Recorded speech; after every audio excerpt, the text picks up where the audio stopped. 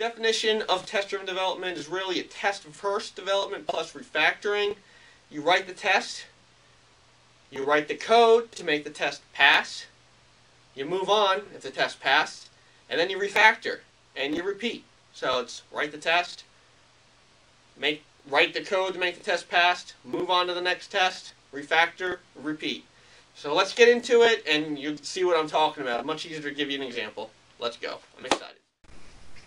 So the exercise that we're going to do today is a palindrome checker. Basically, we'll create a class, and we're creating the project right now, but we're going to create a class called palindrome checker with a method called is a palindrome, and we'll pass in a parameter, string parameter. If it's a palindrome, it'll return true. If it's not, it will return false. Very straightforward.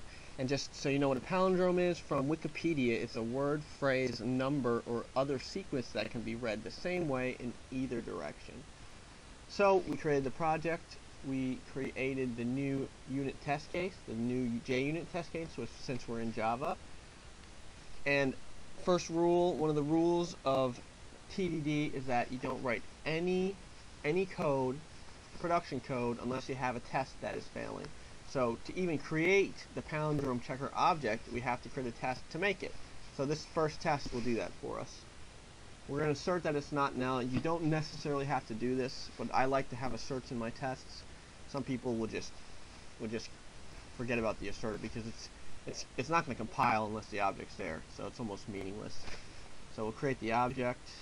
Okay, Eclipse helps us out with that. Eclipse is great. Other IDEs also do that at this point. Um, I think the .NET one does it as well. C Sharp, uh, C++, the latest 2008 should do that. Okay, so we have a green test. We have the object created. Next test we're going to write is going to be just a test that will help us to create that is a palindrome method. It's going to pass in a very simple palindrome. We'll use mom. Should return true. So we're creating the test now.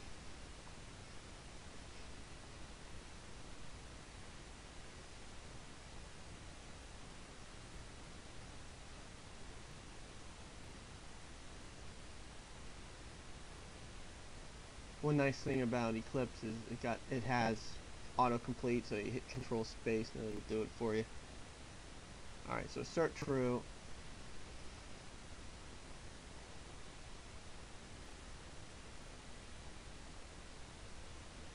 Okay.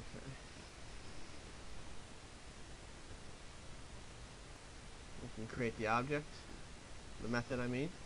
Alright, we'll just give it a shot. Method's created.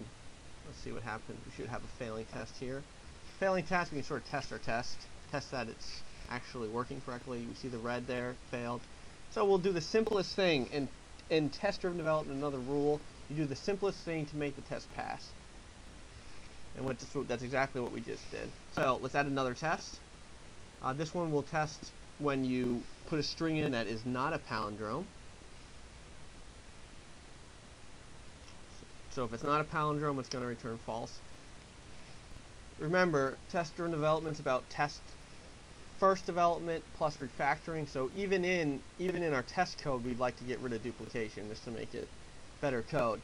We can utilize a setup method that JUnit provides. Most J unit testing frameworks will provide a setup or teardown method.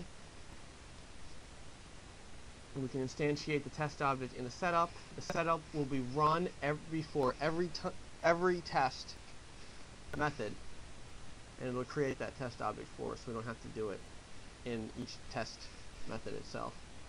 Okay, so we created a new test. It failed. Remember, let's do the simplest thing to make that test pass. Simplest thing I can think of is just let's check to see if it's equal to the input parameter we know is a block. Now, test should pass. Alright, great. Let's move on to the next test. Now we'll actually get, now moving on to the next test, we're going to get into some, we're going to have to write, start to write some actual logic here. Pass in another one that should also return false.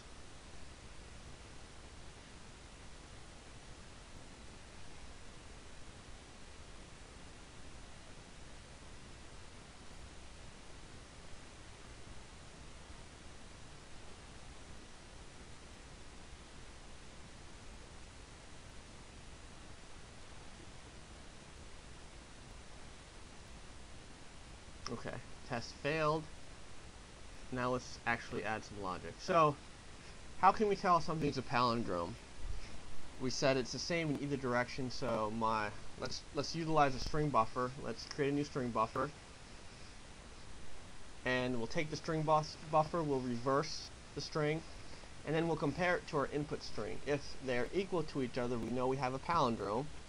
If they're not equal to each other, well, we don't have a palindrome.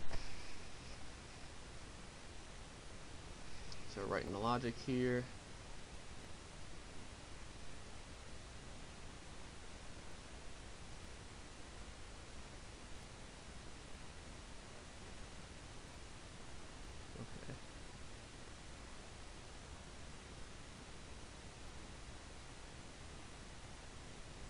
Okay. Should pass, and it does.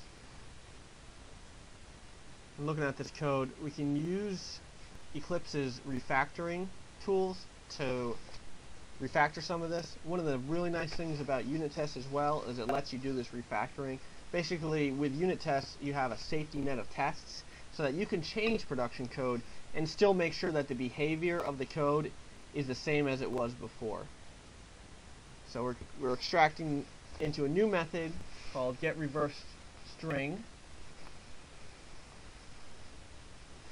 Also by refactoring and, and pulling out methods, you make it a little bit more readable.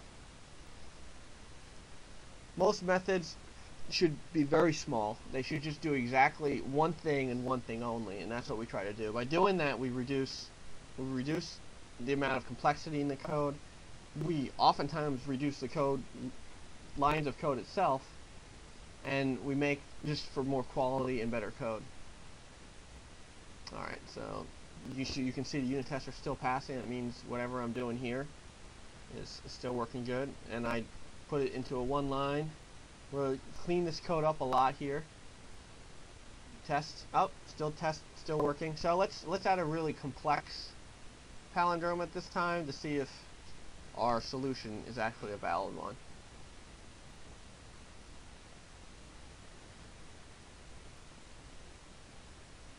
Pull up we'll pull up a really complex palindrome from from uh, the internet. Some random site I found from Google. Got some really complex palindromes. We'll write the test, and then we'll pull it up.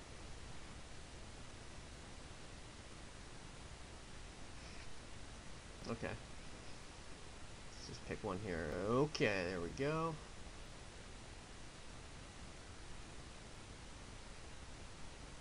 And it should pass. Good to go. Go, go, go. And it passes, so all done.